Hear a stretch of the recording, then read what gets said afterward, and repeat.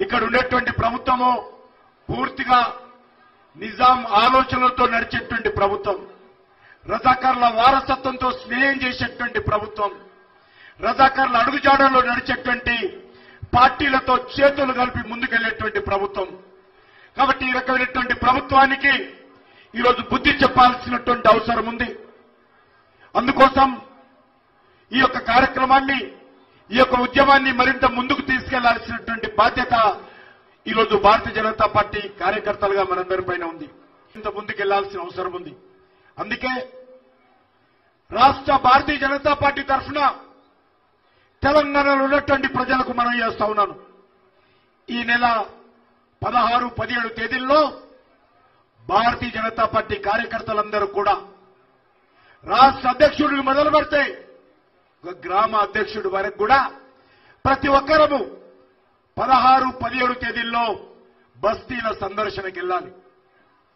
మరిన్ని పేద ప్రజలను కలిసి వాళ్ళ యొక్క అవసరాలను బట్టి దరఖాస్తులు తీసుకోవాలి.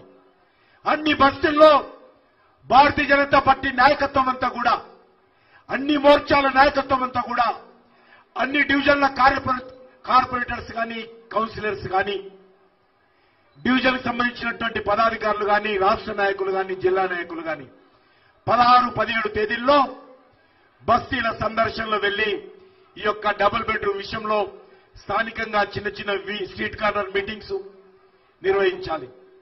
అదేవిధంగా పద్దెనిమిదో తేదీన అన్ని మండల కేంద్రాలలో కూడా ధర్నాలు చేపట్టాలి. అన్ని మండలాల్లో ఏదైతే మండల ఆఫీసులు ఉన్న దగ్గర మండల ఆఫీసులు లేనైతే హైదరాబాద్ లాంటి మున్సిపల్ డివిజన్లు ఉన్నటువంటి మండల కేంద్రాల్లో కూడా ధర్నా కార్యక్రమాలు చేపట్టాలి. ఇరవై మూడు ఇరవై నాలుగు తేదీల్లో జిల్లా కలెక్టర్ ఆఫీసుల ముందు మళ్ళీ ధర్నాలు చేయాలి. ఇరవై మూడో తేదీ కానీ ఇరవై నాలుగో తేదీ కానీ ఈ ముప్పై మూడు జిల్లాలలో కూడా ధర్నా కార్యక్రమం జరగాల్సినటువంటి అవసరం ఉంది. మళ్ళీ నేను పిలిపిస్తున్నాను. రాష్ట్ర పార్టీ నాయకులతో చర్చించిన తర్వాత వచ్చేటువంటి నాలుగో తేదీ యాతు తెలంగాణ అంతా కూడా తెలంగాణలో ఉన్నటువంటి పేద ప్రజలందరూ కూడా ఈ యొక్క డబుల్ బెడ్రూమ్ సమస్య పైన రాష్ట్ర రాజధాని హైదరాబాద్లో మరొక విశ్వరూప ధర్నా చేపట్టాలని ఈ సందర్భంగా మనియేస్తున్నాను సెప్టెంబర్ నాలుగవ తేదీ ఈ ప్రభుత్వాన్ని ఈ ప్రగతి భవన్లో ఉన్నటువంటి ముఖ్యమంత్రిని కళ్ళు తెరిపించే విధంగా సెప్టెంబర్ నాలుగో తేదీన అందరం కూడా రాష్ట్ర వ్యాప్తంగా ఉన్నటువంటి పేద ప్రజలందరినీ సంఘటితం చేసి ఈ ప్రభుత్వం మీద యుద్ధం ప్రకటించాల్సినటువంటి అవసరం ఉంది. ఈ రకంగా మరొకసారి మనం చేస్తా ఉన్నాను.